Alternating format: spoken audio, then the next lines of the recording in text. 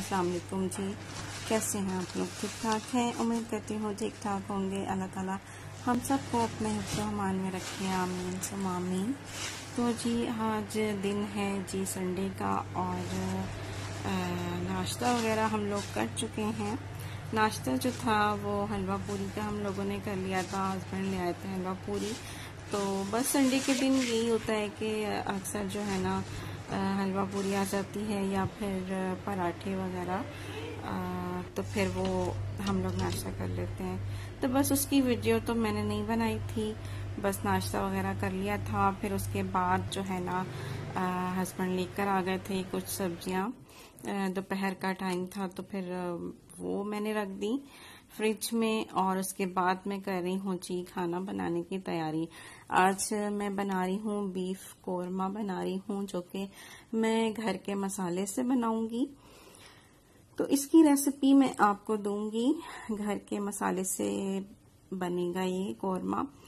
तो बस मैंने ऑयल डाला है। ऑयल में लहसुन अदरक का पेस्ट डालकर फिर ये बीफ जो है ना आ, बीफ की बोटियाँ जो हैं ये मैं शामिल कर दूँगी। ये तकरीबन तीन पाव के करीब है ना?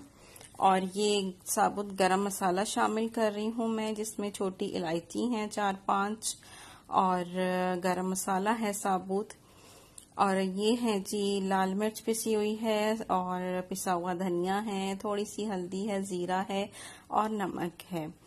अच्छा जी ये मिर, नमक मिर्च जो है आप लोग अपने टेस्ट के मुताबिक ले लीजिए। वैसे थोड़ा सा जो है ना इसमें मिर्चें जो होती हैं ना वो थोड़ी सी ज़्यादा ही शामिल की जाती हैं क्योंकि ताकि जब हम इसमें प्याज शामिल करते हैं तो वो थोड़ा बैलेंस हो जाए क्योंकि फिर वो मीठा मीठा सा हो जाता है। तो बस ये मैंने मसाले डाल के भूना अच्छी तरह से और फिर पानी डाल के इसको गलने के लिए रख दूँगी। और फिर जो है ना दूसरी तरफ़ ये दो प्याज मैंने ली थी। ये दो प्याज लेके इनको मैंने फ्राई करके ना निकाल लिया है। ये देखें।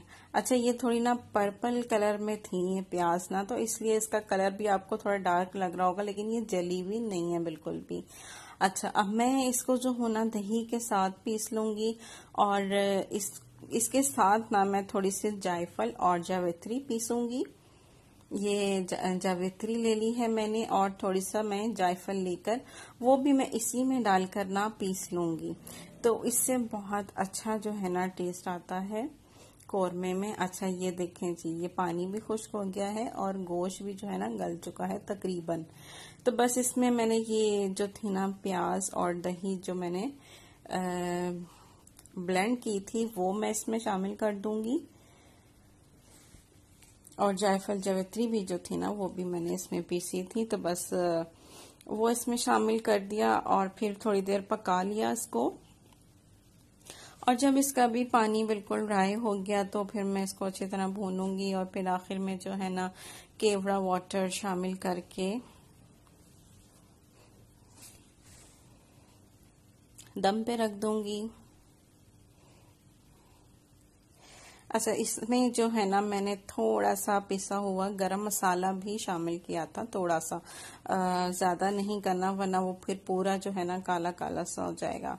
अच्छा जी, ये जो है ना, कौरमा बिल्कुल तैयार हो गया है और ये बहुत टेस्टी बना था। तो अक्सर मैं बनाती हूँ पैकेट वाले मसाले से, लेकिन आज मैंने जो है ना, आपको घर के मसाले से भी इसकी रेसिपी दे दी। और फिर उसके बाद ना थोड़ी देर के बाद आ, मैं कमरे में आ गई। ये कपड़े जो थे ना धोए हुए थे कुछ धो के जो सूख गए थे वो मैंने यहाँ पे तय करके रखे हैं। और अभी जो है ना मैं पीछे गैलरी में से ना और कपड़े उतार कर लाऊँगी क्योंकि अभी और कपड़े जो है ना सूखने के लिए आ, पीछे जो है ना रस्सियों पे टंगे हुए हैं। तो वो मैं लेकर आऊँगी उतार कर और फिर उनको भी जो है ना मैं बैठ कर तय करूँगी। तो बस मैं अभी जाती हूँ, लेकर आती हूँ।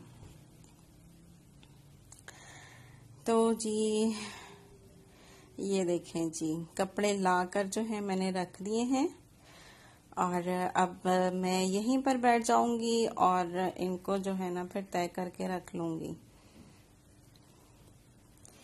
अच्छा कपड़े जो थे ना काफ़ी जमा हुए हुए थे तो बस फिर ये है कि अब धोए हैं सुखाए हैं तो बस अब इनको तय करना और फिर इनको आ, रखना ये भी एक काम है। असल में मैं जो हूँ ना काम से तो नहीं भागती हूँ तो खैर अभी मैं तय कर रही हूँ कपड़े।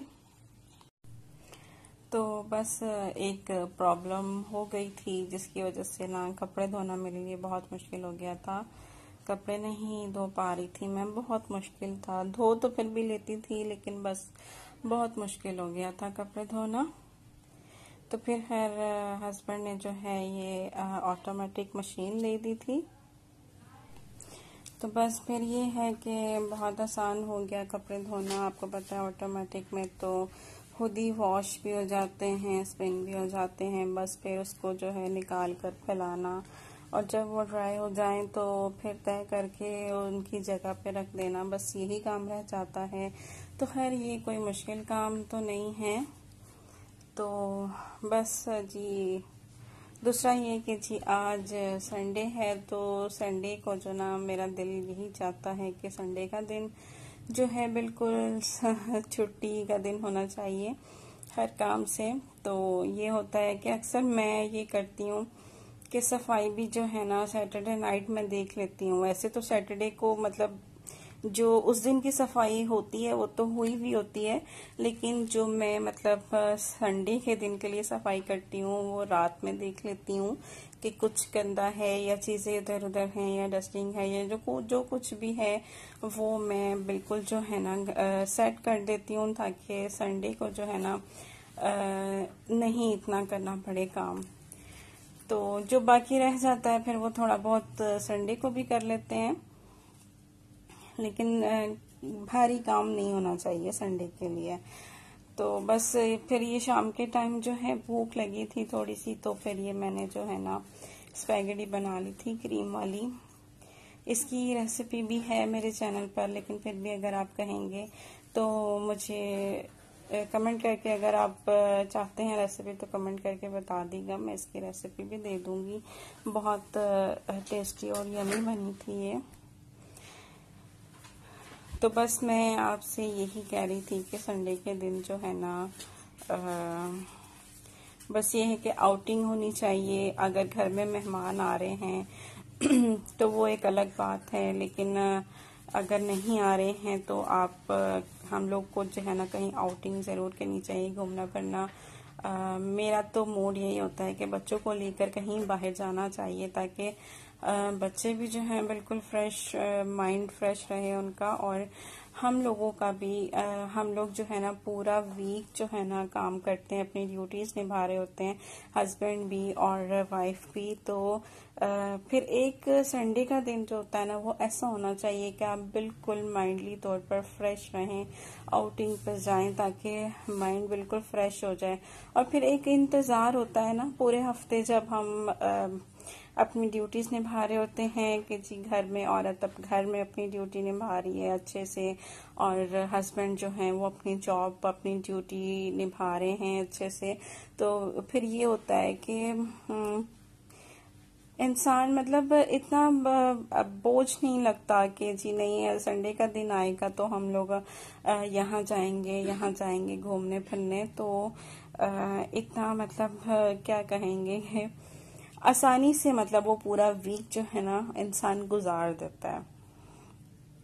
एक संडे की छुट्टी के इंतज़ार में कि जी आ, हम जाएँगे घूमेंगे फिरेंगे फ्रेश हो जाएँगे बिल्कुल। तो आप लोग भी बताइएगा कि आप लोग किस तरह से अपना संडे गुजारते हैं। क्या जो मैं सोचती हूँ क्या आप लोग भी वही सोचते हैं? तो मुझे ज़रूर बताइएगा कि मेरी ही सोच से आप कितना एग्री करते हैं। ऐसा होना चाहिए या नहीं होना चाहिए तो मुझे कमेंट करके ज़रूर बताइएगा और मेरे चैनल को सब्सक्राइब भी कर दीजिएगा लाइक भी और शेयर भी। लोग तो शुरू में ही कह देते हैं कि सब्सक्राइब कर दीजिए, लेकिन मैं एंड में कहती हूँ।